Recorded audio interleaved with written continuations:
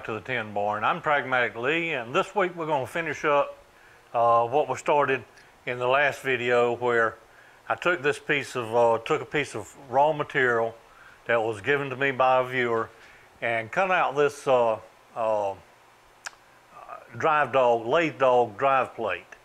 Uh, I didn't realize it at the time I published that video, but uh, the viewer, Larry Robinson, that donated the piece of raw stock, had actually recorded uh, cutting that stock out with his uh, uh, plasma cutter. Put a link to uh, uh, cards up here to to the two videos or uh, two two short videos on cutting this piece of raw stock out. Check out those videos and also Larry's channel. Now, the way these cards up here work is when you get to the end of the video, uh, there'll be a, the little letter I uh, for information, if you will, up here in the corner. Click that I. Don't do it now until after you finish watching this video, but click that I and then there'll be direct links to Larry's videos. What we're going to do today to finish this up, if you recall in the last video, this is what goes in my uh, spindle on the lathe. I want the front edge of the material to line up with the back edge of this point on the dead center. That way the legs on the uh, uh, lathe dogs don't have to reach out so far. Now, in the other tools that mount to the lathe, the studs for them mount like such, right, tied up against this, and then this goes through the uh, flange on the spindle with the nut behind it. There's a, there's a ring that turns and this nut locks down on it. We need to space this out. We need, uh, I think uh, it turned out to be 0.96 inches in between. I won't go over to the, uh, to the lathe I've got a print here, but I'll set that print up and show you what we're going to uh, what we're going to cut out. There'll be uh, some turning in this and some uh, metric thread cutting. Now I have another video very similar to this where I made a set of these studs to go uh, on the faceplate for the lathe. This is going to be very similar, uh, but as I said before, uh, there's going to be a step in between here, almost a one inch extension in there. So let me turn around to the lathe and we'll show you, I'll show you what, uh, what the plan today is. I've gone ahead and uh, machined the length three pieces of this one inch stock that we'll use to make uh, our mounting studs with. This end of the stud down here will be the threaded end that the nut will go on. This three quarter inch section right here will be what actually slides through the uh, uh, plate on the end of the spindle. This thread down here is what will thread into the uh, drive plate that we just finished making. And this one inch section in the middle, which will be uh, uh, 0.96 in length, is not on this. It'll be in between this piece and the threaded stud out the end. So that will set it off so that hopefully in the end the, the edge of the drive dog plate comes out right with the taper, the large part of the taper on the uh, dead center. So I'm to get set up with the uh, uh, collet chuck and we'll come right back and start turning these pieces. Our first step on this will be the threaded step for the nut that holds, holds onto the spindle. That's at 0.7 inches, and then we have a 0.54 that is the thickness of, uh, of the piece that will go through this flange. Those combined is 1.24 inches. So what I'm going to do is zero out my DRO at this point.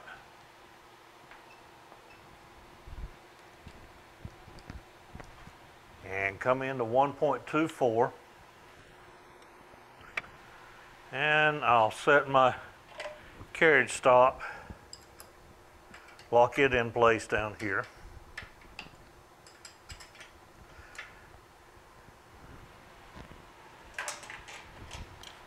And I'll be sure it's clean and the surface that bumps is clean. So that's, re- repeating dead on 1.24. So we're going to take this down to uh, our largest diameter, which is uh, 0.75.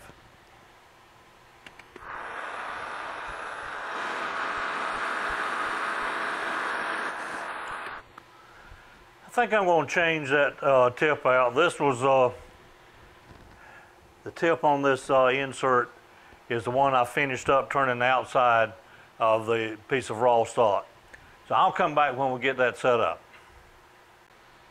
Okay, I put another insert on, fresh tip on, made a made a pass through there, took a measurement, and got a uh, dimension set on the DRO. So we've got about 184 more thousandths to go. I'm going to do this about 60 thousandths at a time. That's 30 off of each side.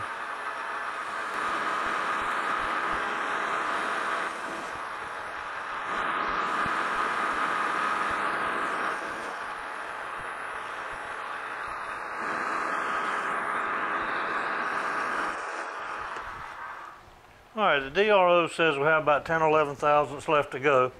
So let's uh, get another measurement. 762, so that's 12 more thousandths to go.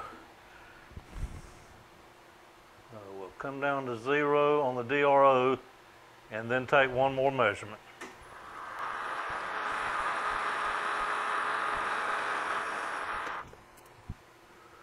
Point seven four seven, twenty-three thousandths. So now we're gonna come in. Our first step is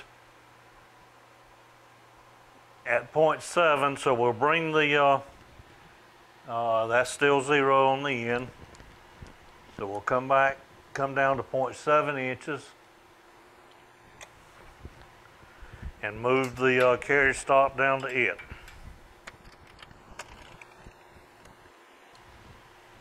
All right, and we want to take this down to a dimension of 0.394, which is 10 millimeter.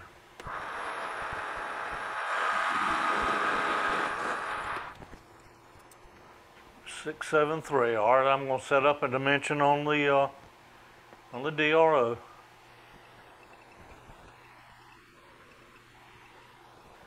All right, we've got 278,000 to go here.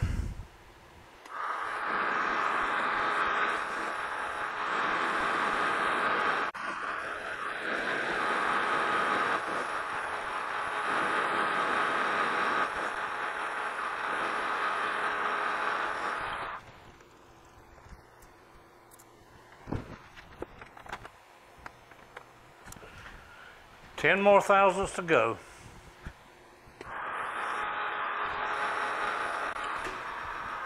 All right, I'm going to move the carriage stop out of the way right now. And we're going to put a little uh, chamfer on each one of these uh, shoulders here. These shoulders up here, I'm just going to just going to put a very light chamfer on them just to break that edge.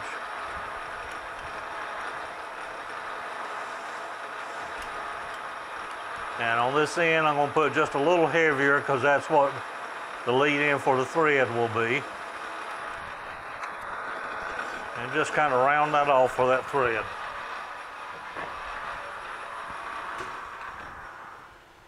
Now before we take this out, I want to go ahead and put some thread, put our thread relief in.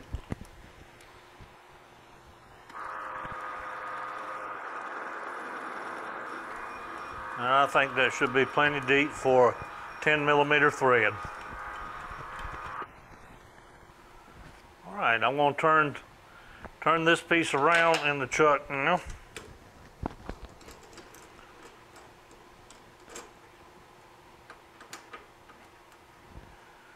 And this shoulder is gonna be 0.68 just to be sure I got enough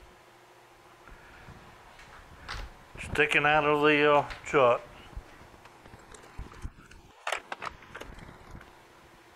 Like before, zero out the DRO, come in our 0.68, zeroed out the wrong axis, the Z.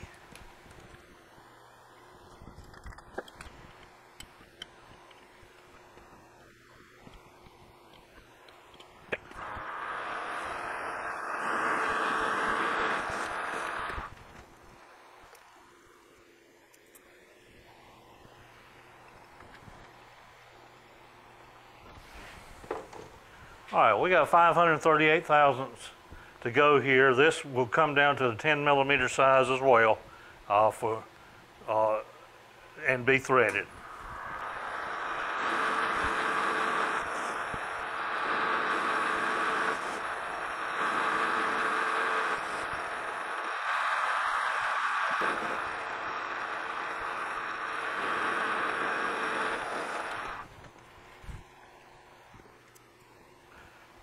Got uh, six and six. We got 12 more thousandths to go.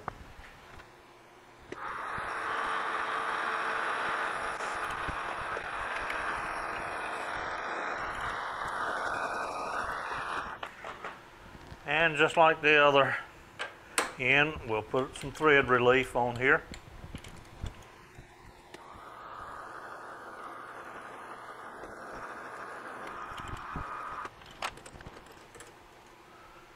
All right, so here's our first piece roughed out. This will be the thread in that goes, well, this will be the shoulder that goes in the uh, spindle flange, uh, tighten on the back. This is our space in between, and then this will be threaded into the uh, drive plate. I'm going to do the same thing to the other two pieces of raw stock, and then I'll bring you back when we get ready to uh, uh, start turning some threads. All right, I got our pieces roughed out now, got all the steps cut, the thread relief on each one. Before we start cutting the threads, uh, I've got one of them loaded in the uh, in a three quarter inch chuck now, three quarter inch collet. Uh, this is good nominal size right here, the three quarter that uh, that we machined over on the lathe. So I've got it on in the collet now, and I'm going to put a couple flats on this spacer uh, section. Uh, that will be, when I put these in, I'll likely put them in with Loctite and will probably never come out again. But uh, just in case, I want a couple flats on there so that I can take them out if I ever need to. And I'm to take these down. This, this center section was one inch stock that we were using.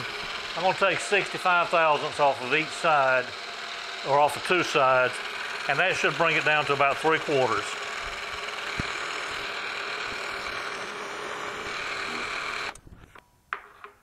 And I'm just setting this up where the edge of the collet is with the edge of the uh, vise. A 7 8 wrench fits on that fine. I'm going to do that to the other two pieces and then we'll go over to the lathe and start cutting some threads. Okay, we're going to start cutting the threads now. I've got one of our work pieces in the collet. And when I did the video sometime back uh, where I was making a couple of these uh, mounting studs for the faceplate, one of my viewers commented that uh, they would never single point thread anything less than uh, 12, 15 millimeter. Uh, this is 10 millimeter. And I might do it with a die myself if I had a uh, 10 millimeter die, 10 by one and a half, but I don't, so I'm going to single point this. Um, I've got one of the pieces in here now, and I've got you backed off pretty far now so that you can get an idea of what I'm doing. Um, down here, this hand, you can't see it now, but this, this is, I'm locking in the half nuts. My lathe, the lead screw on my lathe is Imperial. Uh, we're cutting metric threads. So I'm going to leave the uh, half nuts engaged. I've actually got a piece of tape. Let me turn down there so you can see what I'm talking about. I've got this piece of tape put on there now. Just as a reminder not to reach for that and disengage it when I get to the end of my threads. What I'm going to do instead is I will kill power to the lathe up here when I get to the end of my thread. I'll put the lathe in reverse, back the compound off, power the lathe back up. It will move away from the work, stop the lathe, put it back in forward, advance the compound back to zero, uh, the cross slide back to zero, and then advance the compound about, uh, I'm going to, let's see, each one of these, well, it's, I'm at, a, I'm at the 29 degree angle. Uh, so I'm just going to keep advancing them, advancing the compound in until I've got the thread looking right, and then we'll actually test it with a 10 by one and a half nut. On cutting one of the other threads, I'll try to bring in a little closer so that you can actually see the thread cutting. Half nuts engaged. Uh, cross slide is zeroed out. Compounds at zero. Lasing forward, speed looks about right.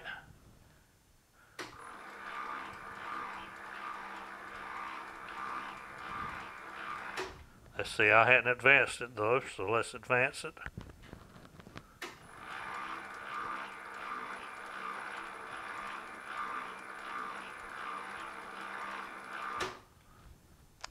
Stop the lathe, put it in reverse, back the cross slide up, power up the lathe.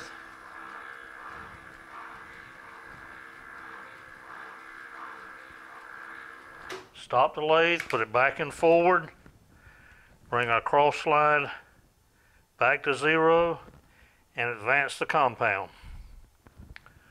I will get my pitch gauge just to be sure I got the correct change gears in. And that is correct.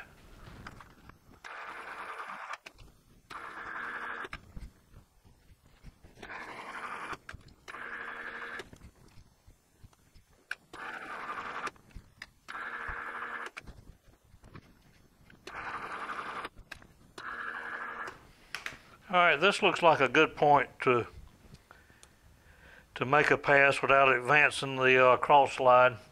Just to clean it up, taking your spring out of it.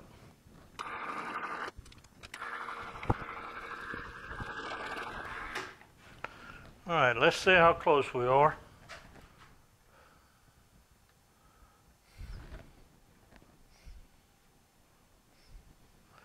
We're starting on, but not quite there yet.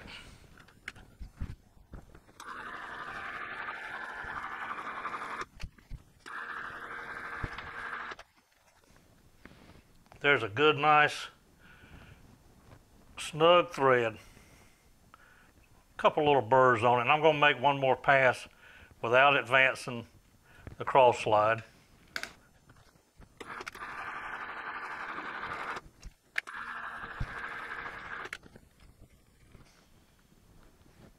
Okay, I'm happy with that. So I'm going to turn this around to the other end of this piece. Then we'll do the same thing to the other two pieces. Before I finish up, I'll get the camera around where you can actually see some of the thread cutting going on. All right, I'm down to my final thread now. Got everything reset and got you a little bit closer here so you can actually see what you're looking for here as we're, since we're cutting threads by advancing the compound.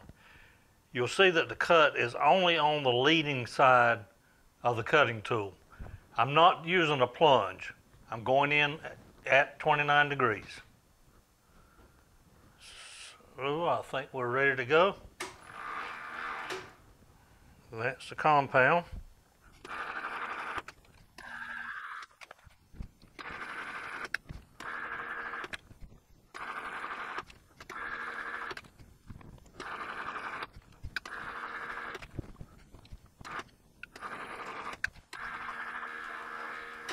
Okay, now we're gonna make a spring pass without advancing the compound.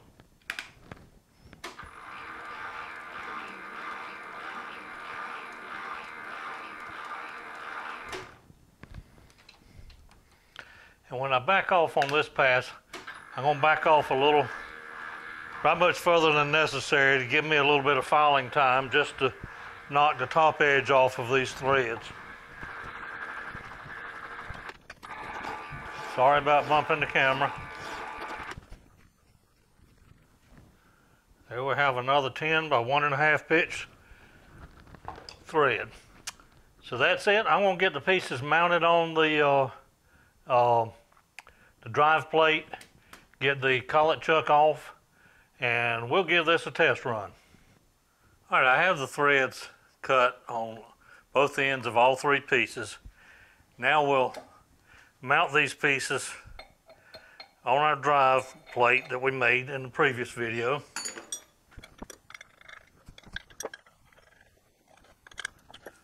Okay, and I realized I uh, didn't have any more 10 millimeter nuts around here, so I borrowed a couple or three off of the collet chuck.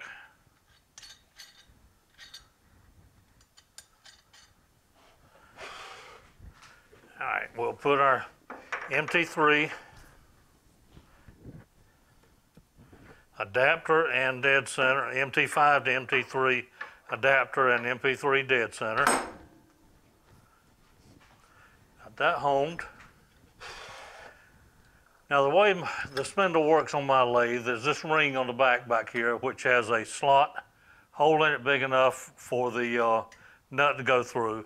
Then it rotates over to a slot that's the size of the uh, bolt or the stud, which is 10 millimeter.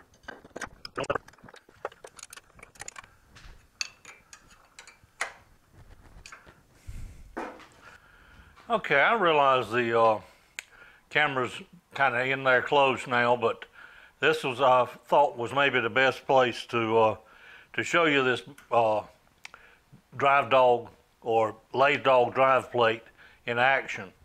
I'm sure most of you are familiar with how it works, but I've taken this one with one of the expanding mandrels, and this just happened to be a piece of scrap that I've uh, had over in my uh, scrap bin that already had a hole drilled in an inch and a half hole. So we're gonna turn this up, put that drive dog in, the leg on the drive dog in the slot we cut, bring our tailstock in, and of course lock it down. Now we have the ability to turn now. There's no way we could hold this in the chuck to turn this outside diameter. Um, in this case, all I'm going to do is just turn it enough just to just to see if these mandrels are going to hold. This is the absolute first time I've ever used one of these mandrels. Uh, I've done some turning between centers before, but it was it was kind of a hodgepodge put together. So we're going to see how this works.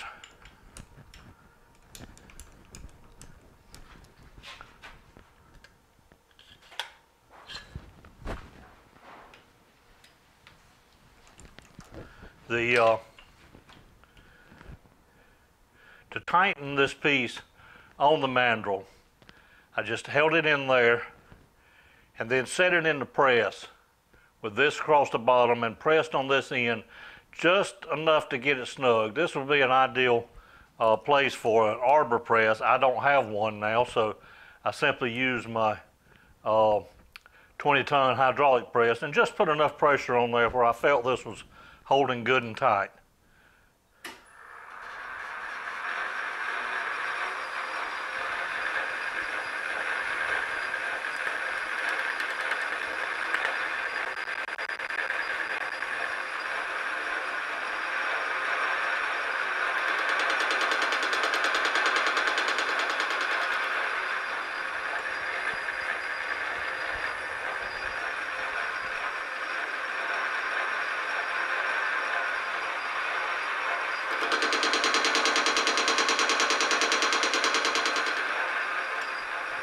I'm not using any coolant now or any lube because I know it will slink it right back on the camera.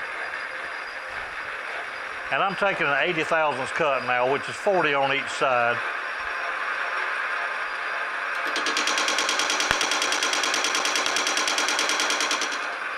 And of course, that'll mean a little bit more when we get a when we get a little bit more contact. We're still just on the points right now.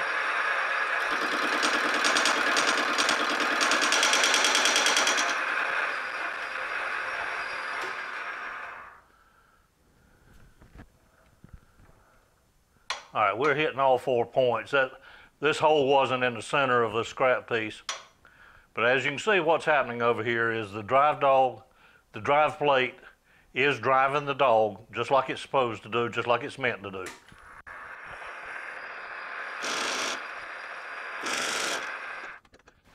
And just for my own sake of knowing right here, I'm going to come on the piece and on the mandrel and put a little mark. And then we'll check it after a while and be sure it's not, this is not twisting on the mandrel, but I'm sure it's not, but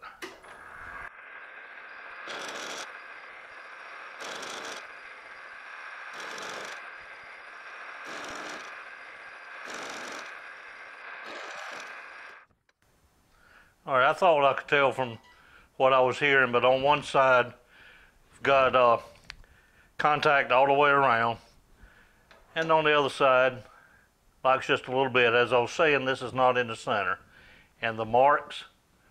Uh, see if you, can I don't know whether you can see them or not, but they're staying. So this piece is definitely not turning on the mandrel.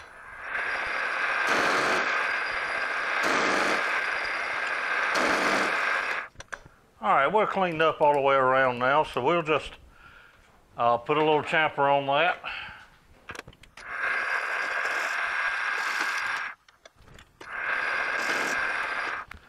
All right.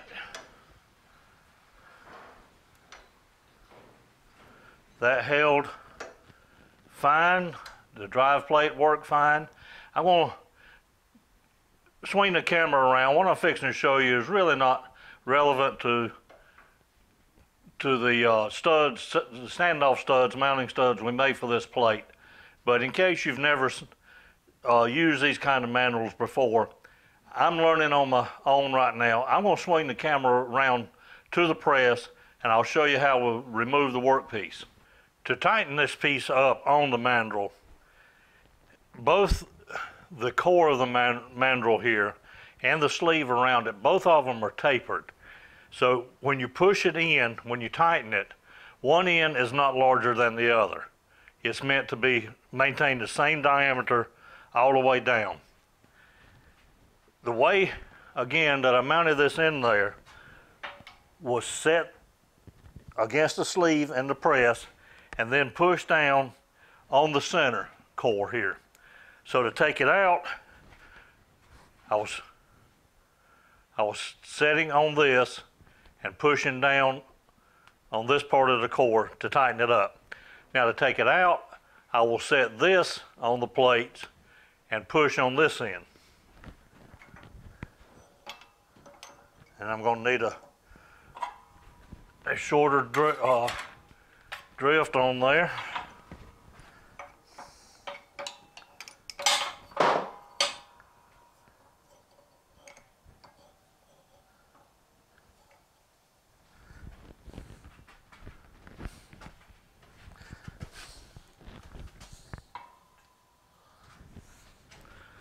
I believe this two inch is going to be fine.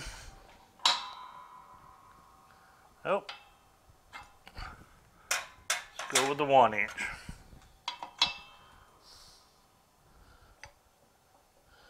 And again, the sleeve is sitting on these plates right here, and I'm going to push down on the, the center part. The I'm not really sure what the correct term is, but uh, the center taper rod. And once you get it started, then it's just a matter of you can loosen, pull the center out, and there's the piece. Hope you've enjoyed this video and got a little something from it uh, on doing some metric tapping, uh, mounting the drive plate uh, to the lathe and then doing some turning with it. Take care and I'll see you on the next video.